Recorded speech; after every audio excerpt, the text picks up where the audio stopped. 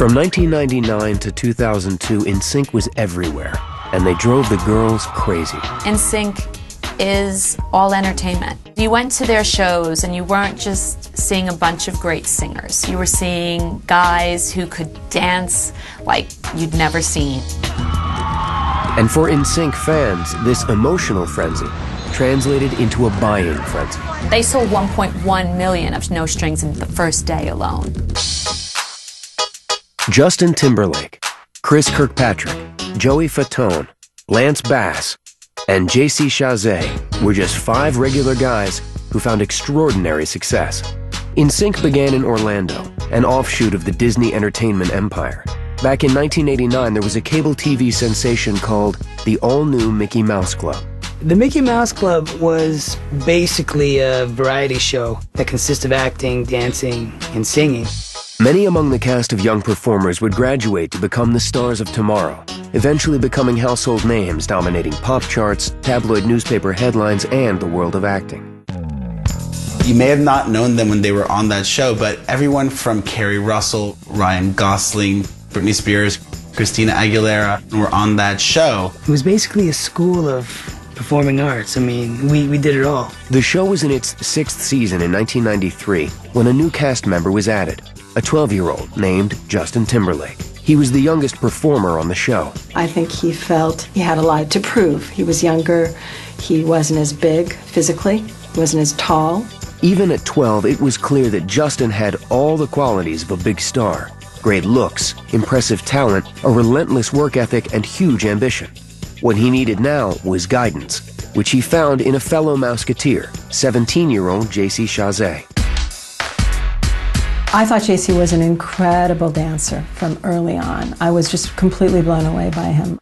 He had a tremendous amount of pent up energy, almost a kind of anger. JC to everybody was was like the Energizer Bunny.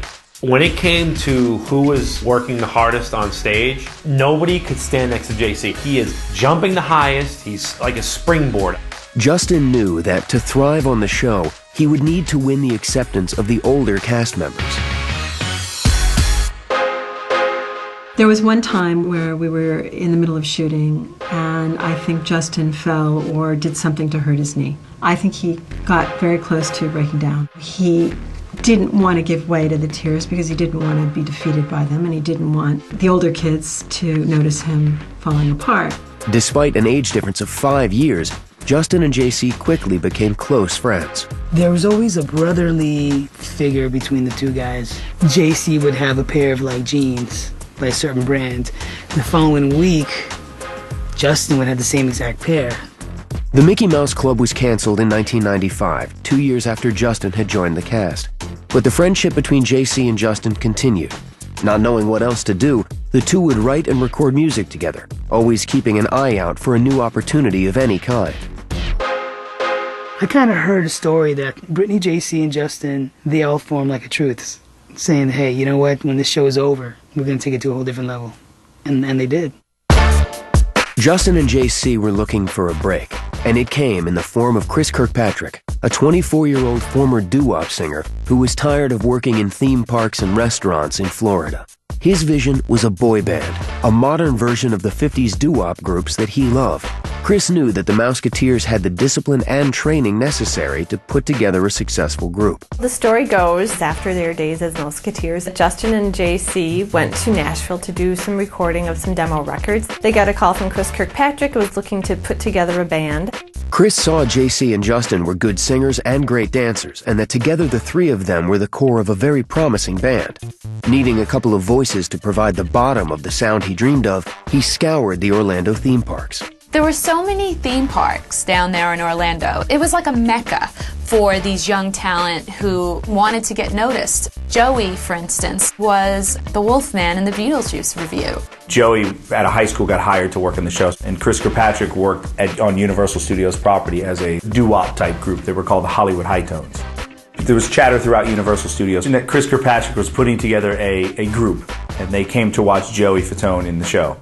When Chris, JC, and Justin came to see him, Joey had no idea that he was in the audition of his life. The guys were blown away, and when they asked him to join the group, he jumped at the chance.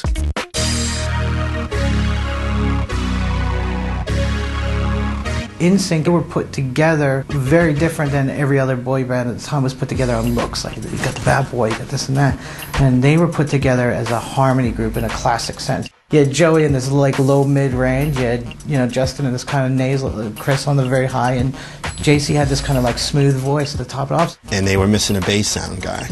And that was the guy that was going to round out the harmonies of the group. Justin's vocal coach pointed them in the direction of a talented bass singer from Mississippi named Lance Bass. The only problem was that he was still in high school. They called Lance up, and of course, Lance's mother said no. And then she flew with Lance to Orlando and saw that the situation was comfortable. So she allowed Lance to be a part of the group. NSYNC was born. But would the group find a place for themselves in the already crowded pop market? In the back of my head, of course, it's your brother. You're going to support him, but I'm thinking to myself, this is not going to work at all. What it's gonna, I'll see you in three weeks. Super talented kids, sound beautiful together, but where's it gonna go? They're from Orlando. Get back at Universal, make a living, you know? At the time that NSYNC was formed, boy bands certainly were very popular. There were the Backstreet Boys, 98 Degrees, Hanson. Here's the Backstreet Boys, who at the time were enormous. And I'm thinking to myself, how could somebody try and go with the same exact formula, another five guys with the same style of music, and try to go out there and do anything? While the idea for the band was not new, NSYNC believed that they were better. Better singers, better dancers, and more committed to their music than the Backstreet Boys. Now all they had to do was prove it to the world.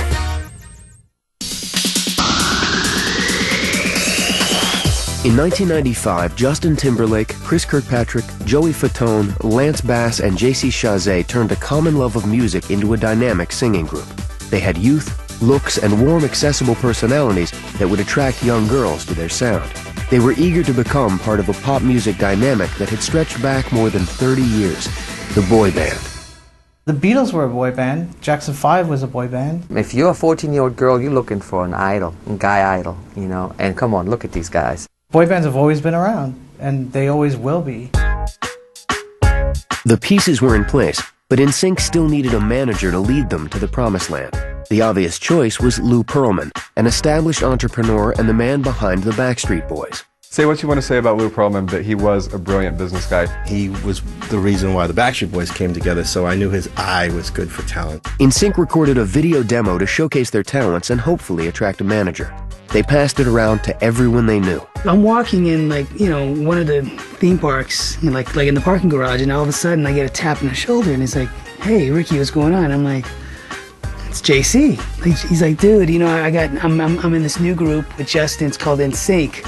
Check out my demo. Here it is. The energy that came out and from that, from those songs, it was just like, wow. Those guys worked really hard to get themselves ready to rock and roll for an opportunity that they never knew if it would ever happen. Word spread quickly, eventually reaching Lou Pearlman's partner, Johnny Wright, who was touring with the Backstreet Boys in Europe. Wright liked what he saw and tried to persuade Pearlman to take them on. So I called him one night and I said, look, if you can find this band and you can get them, I think I can get a record deal for them. Pearlman saw NSYNC's demo and was thoroughly convinced. He immediately signed them and set about booking concerts. I remember Universal Studios. Joey got the call. Joey's like, I guess I'm going to Europe, you know? NSYNC's first concert tour was in Europe, allowing them to hone their act and test their appeal. It was the same formula Pearlman had used with the Backstreet Boys. It was a high for our whole family, for everybody, especially, you know, going back to the whole thing when my dad was in a doo-wop group. Here's now his son pretty much living out his dream. There's always a bigger tendency for boy groups in Europe than there is here. I can't really analyze what it is, but it's good to do the GAS market, which is Germany, Austria, Switzerland, and go from there to England, and then come from England to go to France, to go to Canada, to come back to the United States. The guys knew they were lucky to be given a shot at success, and they were up for the adventure. But they missed some of the comforts of home. It was funny because every day they would stop uh, at McDonald's because they didn't want to eat the German food. NSYNC took Germany by storm. It's tearing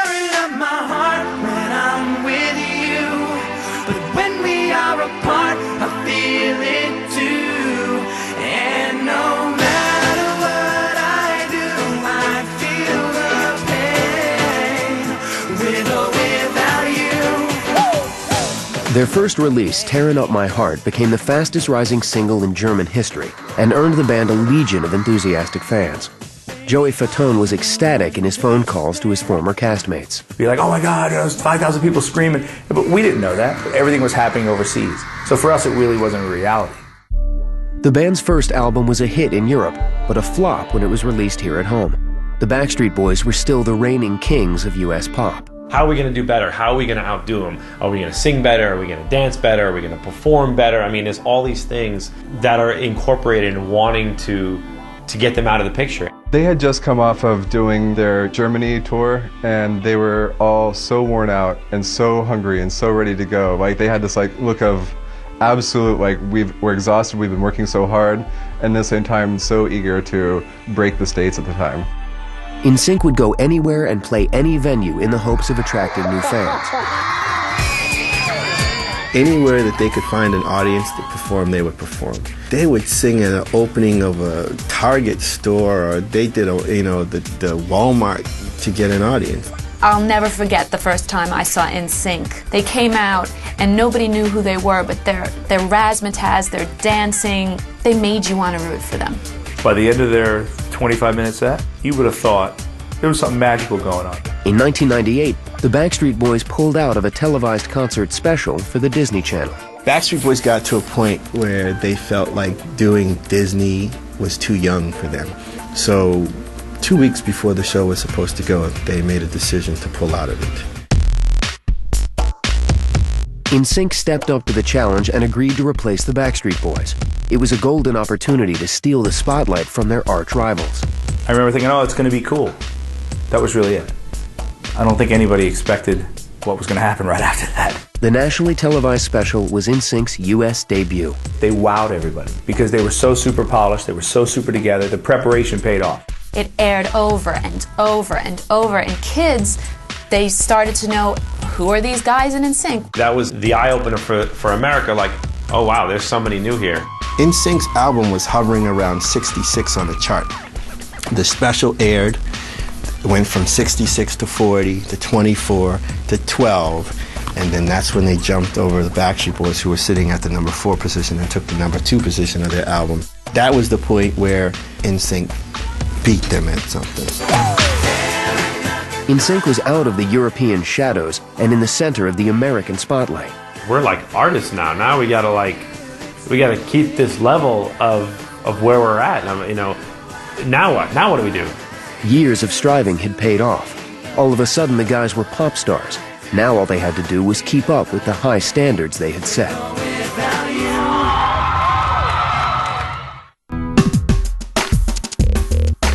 NSYNC was born in 1995 when five Orlando-based singers left the theme parks and joined forces to become pop stars. In 1998, their Disney Channel concert special made their dreams come true. The show was a breakout hit, rerunning over and over again. Their album surged to number two on the charts, two spots ahead of the Backstreet Boys. Now they were huge, and their private lives had become very public. When they were big in Europe, they could come home and relax and, you know, go out and maybe get recognized, but not really hassled. But overnight, their home was like invaded. You know, they, they had no privacy. Everything from chasing the buses with their cars to showing up at the homes to making these crazy signs and banners and sending gifts. I like Reese's peanut butter cups, JC said one time, and literally the next day after that aired, the whole front door was piled with people who left Reese's peanut butter cups, ice cream, and cereal, and everything. Some fans would do anything to get close to NSYNC. A girl had a rope and a carabiner and a harness, and she was willing and able and ready to rappel down the side of a building so she can catch a glimpse through the window. But most fans were respectful, and NSYNC in turn showed their appreciation. In New York City, stayed at the Trump Tower all the time. They always blocked off the front. There was always hundreds of people outside. Before they walked in the hotel, the guys would yell out, "What are you guys doing out here? It's three, you know, it's 30 degrees. What's wrong with you? Oh, we're here to see you. Yeah." Take a few pictures. Take it. Oh, we'll be back in a little bit. I'm leaving at two, so when I come back, I'll say, "Hey." I mean, they were that open with people. They made a point of being accessible to their fans, and their fans picked up on that. In the run up to the holiday season, the guys decided that they would do something special for the fans. They wanted to make a Christmas album, but they only had a month to do it. At first, we were going to just put out a Christmas single, And then the whole process was like, well, why do that? Let's just go ahead and do an album. And you guys got six weeks to do it. The record company didn't decide to do a Christmas record till, I would say, mid of September, where we should be done by that time. They actually had four studios going at the same time, and we did the entire record in a month, and, and they never turned it off. They always gave 110%. Life was good. Tearing Up My Heart and I Want You Back were in regular rotation on the radio and on MTV. The band was in high demand on award shows and collaborated with megastars Janet Jackson, Gloria Estefan, and Phil Collins. Justin had an additional reason to smile a budding romance with longtime friend and fellow Mouseketeer, Britney Spears. They were like what we called teen royalty. You know, the Princess Di and Charles of the teen scene. The beautiful thing about that is, is even though the girls were in love with Justin and they wanted to be with him, if they couldn't, they were okay with Britney being there. Though the guys enjoyed the benefits of pop stardom, they didn't let it go to their heads. In the spring of 1999, as they were playing a show in Denver, Colorado, news came of a tragic school shooting at nearby Columbine High.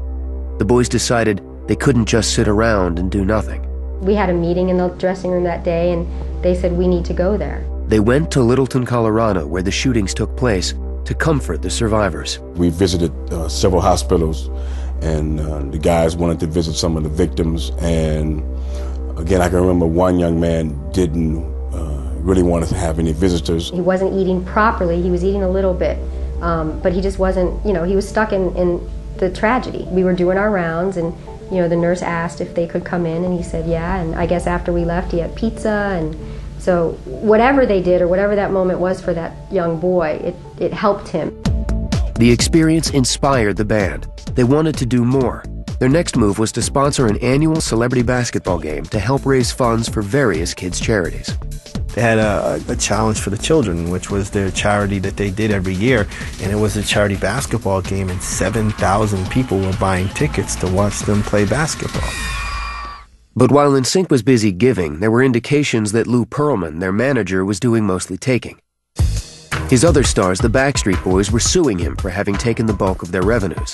NSYNC began questioning the terms of their original deal, made when they were just kids. They weren't thinking that they were going to be screwed over. They were thinking, gosh, isn't it fun to sing and dance and get paid for it? They weren't really thinking about somebody might be screwing us. By 1999, the formerly unassuming young boys were international stars. NSYNC had sold 10 million records and sold out hundreds of concerts all over the world. They were now determined to get their fair share of the fortune that their collective talents had brought in. They left their record label and sued Lou Pearlman to get out of their restrictive contract. They had to fight for their name and they had to fight for what they were doing and they had to re-record the album and so forth and so on. And then they went on Jive Records. There was a lot of mayhem going on. There was definitely a time during you know, all of the legal stuff that there was a focus just on that. It was Johnny Wright who pulled them out of the slump. Lou Pearlman's former partner became NSYNC's new manager. Johnny Wright has a nice way about him. He's very much like a father figure, a very nice guy, a mentor. He was somebody that they could really trust. I'm not going to say NSYNC was falling off the map, but the management side of it was falling off the map. And he was able to come along and scoop it up and point them in the right direction. With Johnny Wright's leadership, the boys resurfaced stronger and better than ever, beginning production on their new record. Free for the first time from puppet master Lou Pearlman, the boys celebrated by naming their new album No Strings Attached. We're free now. We're independent. We're sovereign of, of that situation. They weren't puppets anymore. NSYNC was without a record contract, but they were ready to blaze forward. This next album would make or break the group's career. At the very end of 1999, NSYNC was faced with a whole lot of uncertainty. They were a global phenomenon, having sold 10 million records with an enviable string of sold-out concerts. Still, business problems left them mired in lawsuits and countersuits with their former manager and previous record company. Now they faced the new millennium in the precarious position of having an unfinished album and no record contract. The band was in crisis, and they turned to Johnny Wright, the partner of their former manager, to lead them forward. Eventually, he helped resolve all their business issues and focused on bringing a blockbuster album to their new label. NSYNC was given free rein to explore a host of musical possibilities. They wanted to create something new and different. There was a lot of writers involved, a lot of producers. Everybody was being told by the label that this is going on the record. Like, well, this is going on the record and that's going on the record. It sounds completely different. They had created an album that juxtaposed hip hop, electronica, and pop. There were beginning to be concerns that the album, under numerous producers, had become too diverse. On their own, it, they, they were just so far off. But it was the continuity of their vocal arrangements and stuff that just kind of gave it an NSYNC signature on everything that, that made it all work together. Amongst the diversity of new songs, one track stood out. They played this song called Bye Bye Bye. And it's one of those things that when you're in the studio, you know when you have a hit song. You can kind of just feel it in the air, you can kind of feel it in the room. And we knew at the time that that was absolutely it. We knew that, that song was going to be massive. All their fans thought that there wasn't going to be a next record. And then the single Bye Bye Bye came out. The reaction was even better than they had imagined.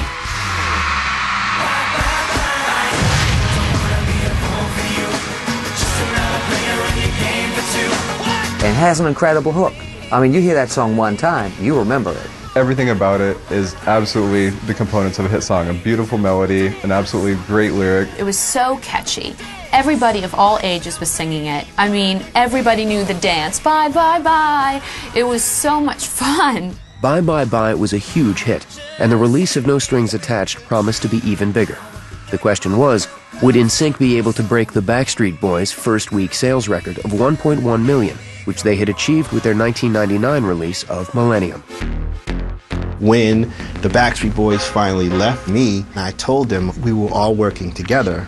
Now you're putting me in a position where I'm going to be working against you.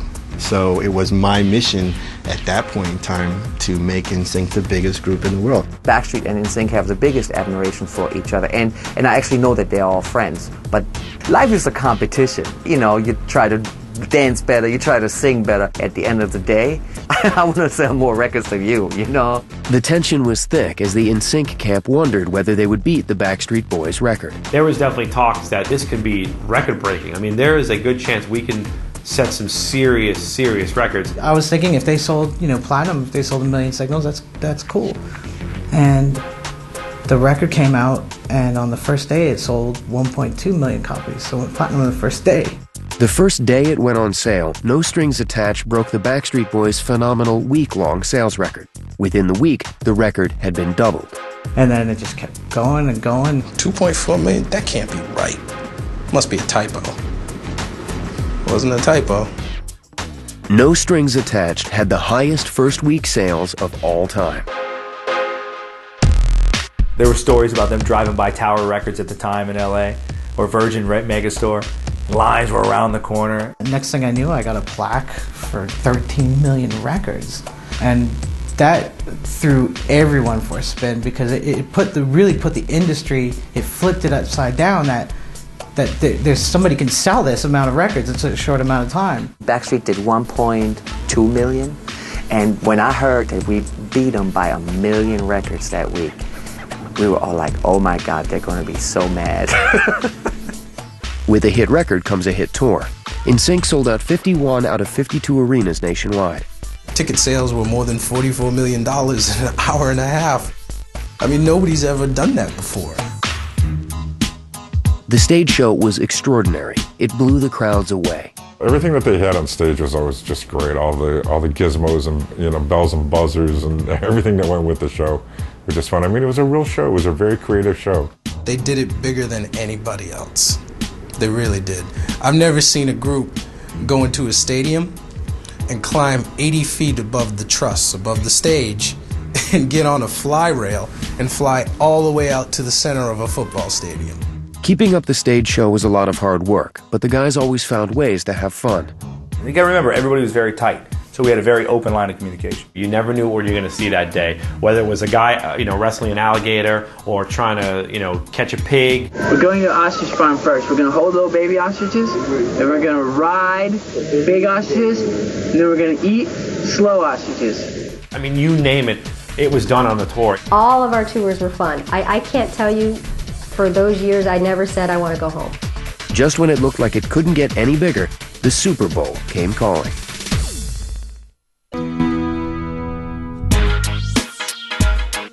By 2001, NSYNC was a dominating force in the entertainment world. The hardworking teenagers had grown into young men, ready to take their place in the pop music pantheon.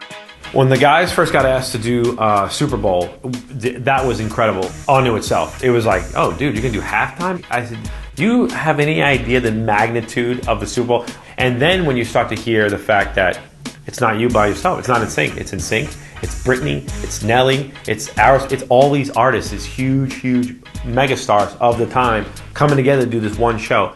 The guys were especially thrilled to have a chance to work with rock legend Steven Tyler. We did four days of rehearsal in a warehouse with Steven Tyler, which was, was a joy. It's a sweet man, nice man, great man.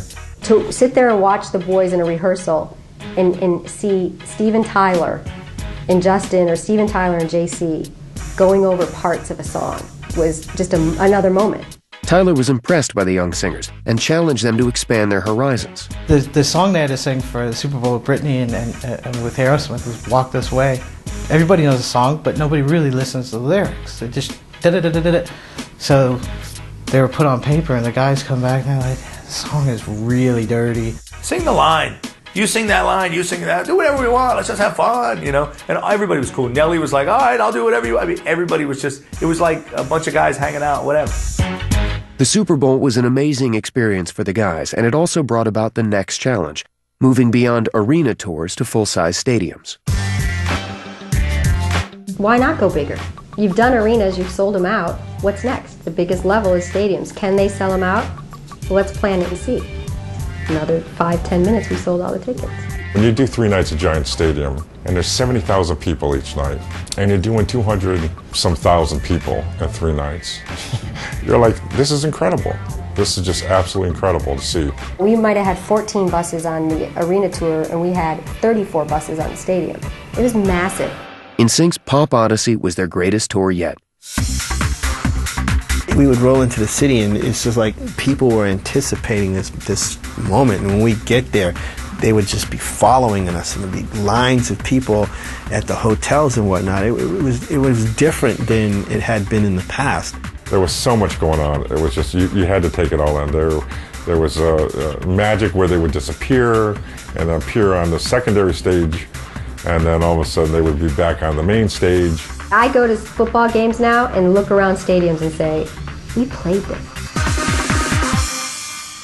In the midst of their tour, NSYNC recorded and released their third album, Celebrity. And then the celebrity record was like an introduction to the real true talents of this group. Celebrity let the members of the group take a more active role in the writing and production of their music. Justin and JC jumped at the chance.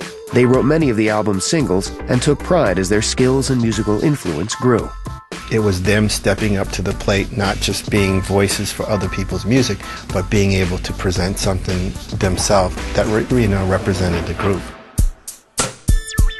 Justin really skyrocketed in the maturity overnight during that celebrity record. When we first started cutting that record, he was very quiet, small, amazing talent. And then about halfway through production, he'd grown like a foot. He came in the studio one day and was playing something on the keyboard, and he, he's like, "Well, why don't you try this chord?" He started showing me things that I, I was I've never seen before.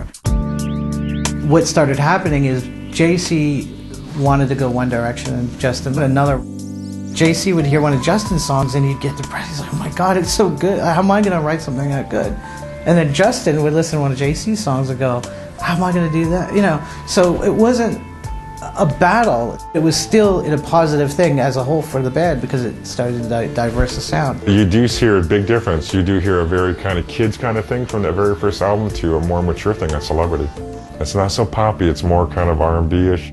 With the members of NSYNC at the creative helm, Celebrity became a personal statement of who they were as a group. Excuse me, excuse me, Joey, Joey, JC, over here. The thought pattern with that was, look, let's make fun of what people think celebrity is.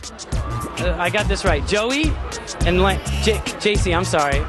You guys all look alike. And so that's really what the whole concept of the album was. That's why when you look at the cover, it's them on the red carpet and the paparazzi. It wasn't to say, look, we're we're the S, you know, it's, it's the complete opposite to say we don't take ourselves so seriously that we feel that we're that way. He's a funny guy. NSYNC was at the top of their game. They never sounded better, but the boy band phenomenon was beginning to wane. You saw us go from, what, 15 million records on No Strings Attached to Celebrity that was maybe eight and a half or nine, you know, and, you know, you started to see some fans drop off or move, you know, but again, the groups were getting older. So as the groups were getting older, their fans were getting older. It wasn't strictly about the band anymore. At the time, it was a good thing. You know, it was cool to be, I'm in a boy band. You know, and then two years later, I'm in a boy band. The pop music landscape had shifted, and NSYNC's time had passed. The boys knew that their amazing run could no longer continue. In addition, Justin had a personal problem, a very public personal problem. Justin and Britney were childhood sweethearts. Childhood sweethearts don't often make it to adulthood sweethearts. People thrive on it. People loved it. People thought it was great to know that they're in an argument or that Britney is not showing up to the party with Justin. They represented more than just the two of them. It was kind of like the golden couple of pop. In addition to Justin and Britney's failing relationship, the pressures of touring and recording were taking their toll. The guys needed a break. This is basically because we do so many shows, we forget where we are. When NSYNC was going, they were going. They were recording songs and records in three weeks. It was full steam, 100 miles an hour. So when they totally wanted time off, I got that. They all said, look, let's take six months, I'll get into other things. We'll come back in six months and have a meeting to see where we're at, if we want to take more time off or if we want to do something. During the time, everyone thought, oh, we'll just take a break. But as soon as everyone started to get a feel for the for their alone time and realized I don't need four other guys to tell me what to do. I don't need four other guys to tell me where to be. Now you're on your own, and it's like uh, this might be better than being with four other guys. But it was events in Lance's life that brought things to a head. Before he joined the band, he had been working towards a career in aeronautics. So when a film crew making a television documentary offered him a chance to train and go into space with a team of Russian cosmonauts, he couldn't resist. When Lance, you know, had come and declared, you know, I'm going to space, so we can't tour for next year. You know, Justin said, well, I'm going to keep working on my, I'll work on my solo thing. I'm not going to sit around. And JC said the same thing. Justin's solo album, Justified, was a massive success. It topped the charts and won him a Grammy. The more he dove into solo work, the further in the past NSYNC looked. Lance was still involved in what he was trying to do. You know, Justin's album took off and so they all gave him that, like, you know, go for it, man. This is your opportunity. We're not going to step on that. When you're in the group, what you might say could affect four of the guys. He's not have to worry about that anymore. He's like, whatever I want to say, I'm fully responsible for. With his solo album, Justin faced the challenge of asserting himself as an adult performer. Justified was grown up, sexy, and smooth, and set the tone for his post NSYNC career. How do I transition myself into an adult artist now and get an older audience? Some people choose to do it by really going into their craft and becoming better of who a performer they are and an artist that they are. That's the road that Justin took. With Justin's provocative new attitude, many compared him to fellow child star turned pop sensation Michael Jackson. And you know, a lot of people try to go after this whole Michael Jackson thing on the Justified album, but that's really not where Justin's head was. He was more into the James Dean, Frank Sinatra type vibe. Justin seemed to be bucking his wholesome boy band image, but to those who knew him, Justified was just a continuation of what was always there. Even when you listen to the NSYNC stuff, um, you will see that when songs have a little bit more of R&B flavor, it's going to be either, either Justin or JC singing. If you watch the celebrity record from Girlfriend and Gone, which were, you know, Justin was the writer on those, you saw it coming, but you didn't know it until he came out with that solo record. You're like, oh my, he was doing it all along. It had been seven years since those young boys had first come together. And in that time, they had struggled, conquered, and now finally divided. Still friends, Justin's solo success was embraced by the whole band as something to celebrate. Their own opportunities for stardom were still to be explored.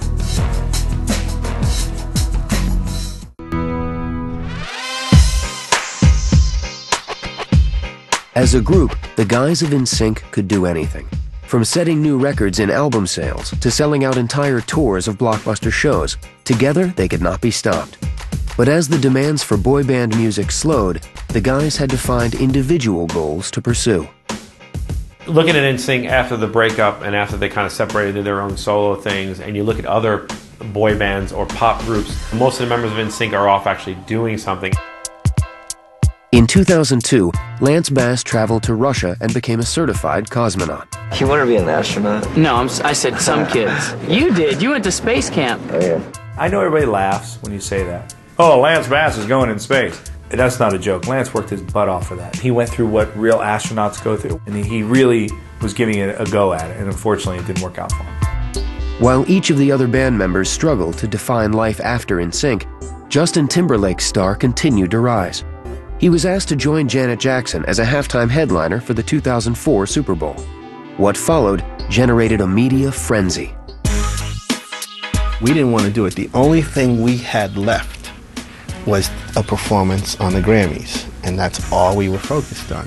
Janet, who was a friend of Justin's, called him and personally asked him, and you know, Justin will never say no to a friend. At the climax of the Super Bowl halftime show, Justin reached over and ripped Janet Jackson's top, exposing her bare breast. While everyone involved in the production insisted that the incident was a wardrobe malfunction, rumors spread that the whole thing was planned. That's kind of like one of those Area 51 things where no one's really ever going to know the truth of exactly what happened. To this day, I can't tell you how the whole thing happened, but it was a surprise to everybody. I've heard so many different stories from Justin didn't know, but Janet knew. Janet wanted Justin to do it, but Justin didn't want to do it. The only people that will really know what happened are Justin and Janet, and they haven't really ever talked about the specifics of it. The scandal became national news, sparking fierce debate on standards of decency in the media. The producers of the Grammys began to voice concerns about Justin's scheduled performance the following week. The week that happened after that was crazy from all of a sudden the president talking about what you do and the world and a whole phrase coined based on something that happened, a wardrobe malfunction, to the Grammys, the one thing that he was totally looking forward to, basically saying, you can't be on the show if you don't apologize. Justin was allowed to participate in the Grammys. He won two awards and used the platform to apologize for the events at the Super Bowl show. But JC wasn't so lucky. In the aftermath of Janet and Justin's Super Bowl debacle, JC's planned Rose Bowl performance was unceremoniously canceled. His career was less than thriving. Although he had released one album, Schizophrenic, he frequently found himself in the shadows of Justin, the young Mouseketeer he had once mentored. JC is an incredible songwriter, and I honestly think that he's been given a hard bargain um, with his solo career. It could have gone either way. I mean, JC could have really accelerated what he was doing in the studio and, and been the first one out. If you're on the same label as Justin Timberlake, you know, you're going to have a hard time having that label give you that kind of attention. Although his album flopped, JC didn't let anything slow him down. He began writing and producing for other acts, including in 2007, the Backstreet Boys. JC uh, was like, you know, I think I'm going to write for other people. He was getting into writing with other people. Amidst the constant rumors and speculation of an NSYNC reunion album or tour, there were other rumors. After much hysteria in the tabloids, Lance clarified the issue by declaring his homosexuality on the cover of People magazine. Coming out was the best thing that ever happened to Lance Bass because he really didn't have a career before that. And when he came out, he got on the cover of People magazine. For Lance's friends, the news of his announcement was a positive development. I think when, when Lance finally, you know, said to the world, "Hey, everybody, yes, I'm gay," I, it was almost like so many people were like, "Duh." Now that he's openly, this is who I am, this is what I am. He's taking more career shots. He's doing hairspray right now on Broadway, which is great for him. And I don't know if he would have took that shot three years ago. Joey Fatone returned to his first love, acting. Choosing idiosyncratic roles in offbeat and low-budget productions, Joey forewent the pop audience that brought him fortune and fame. Still, he found his way into such hits as My Big Fat Greek Wedding and Rent.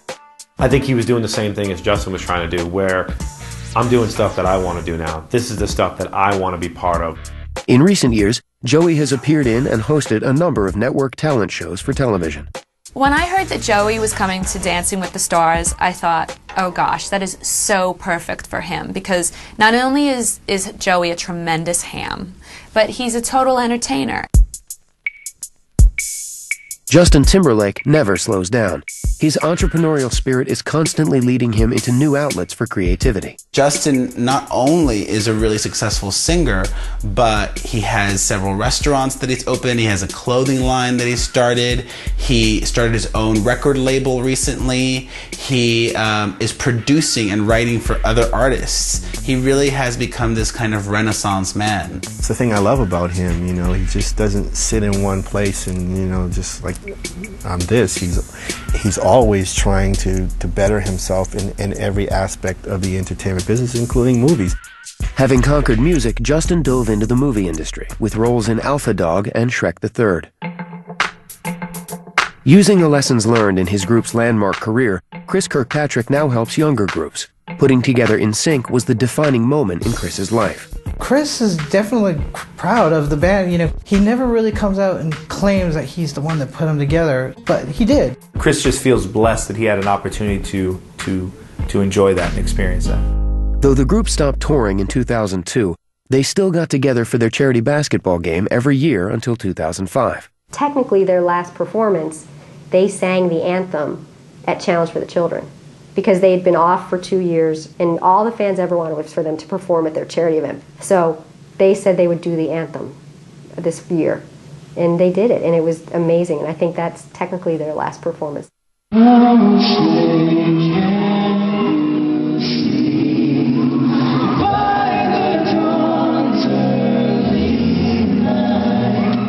I think just recently, my brother has come to terms with the fact that that'll never it'll never happen again. I mean, there was a long time where he thought, man, maybe, maybe just something will happen. He's the type of guy that needs closure.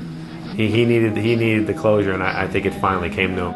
As the accomplishments of NSYNC recede into history, the individual members continue to find new ways of showcasing their many talents. Here's five guys in a group that made it really big, took a few years off, and now they're trying to find, you know, where they go in life and they're finding success in anything they look towards. And that's a true testament of how talented they were. It wasn't until years later, after everything had died down, the group broke up, that I realized how big this actually was.